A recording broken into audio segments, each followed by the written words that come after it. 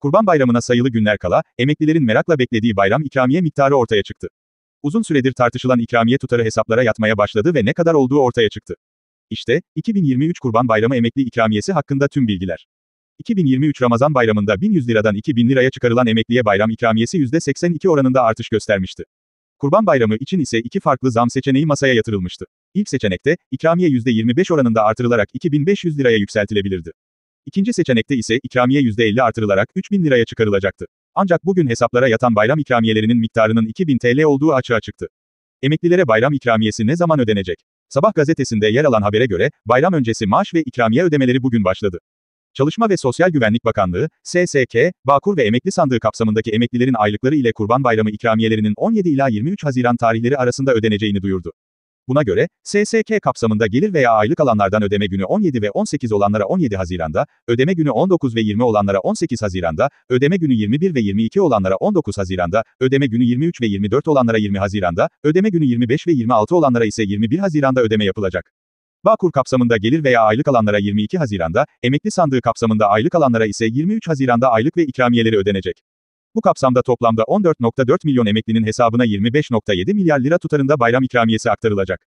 Milyonlarca emekli, memur ve işçinin gözü Temmuz zammına çevrilmiş durumda. SSK ve Bağkur emeklileri 5 aylık enflasyona göre %15,26, memur ve memur emeklileri.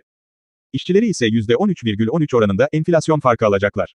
Emekli maaşlarına ne kadar zam yapılacak? 5 Temmuz'da açıklanacak olan Haziran enflasyonu ve refah payıyla birlikte emekli maaşları %30'u aşacak şekilde zam alacak.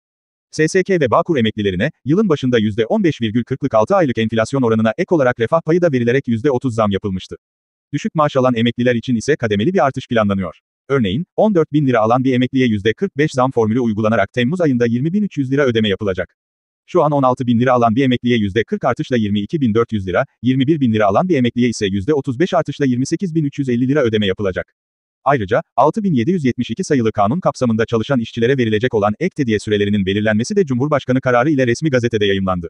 Bu karara göre, devlet ve bağlı kuruluşlarında çalışan işçilere ek ödemenin birinci yarısı 23 Haziran'da, ikinci yarısı ise 18 Aralık'ta yapılacak. 2023 sosyal destek ödemeleri ne kadar? Aile ve Sosyal Hizmetler Bakanı Mahinur Özdemir Göktaş, Türkiye Aile Destek Programı kapsamında ihtiyaç sahibi ailelere bu ay toplamda 4,5 milyar TL ödeme yapıldığını duyurdu. Göktaş, programın başlangıcından bu yana hanelerimize sağladığımız destek tutarı 35 milyar lirayı aştı, dedi. Programdan 3.5 milyon hanenin yararlandığını ve hanelere gelirlerine göre 850 ila 1250 TL arasında destek sağlandığını belirtti. Ayrıca, çocuk desteği kapsamında 6.3 milyon çocuğa toplamda 7,7 milyar TL ek ödeme yapıldı. Elektrik tüketim desteği ise toplamda 5,1 milyar TL destek sağlandı. Tarım ve Orman Bakanlığı da çiftçilere 75 milyon 826 bin TL tarımsal destekleme ödemelerini gerçekleştirdi ve bu miktar çiftçilerin hesaplarına aktarıldı.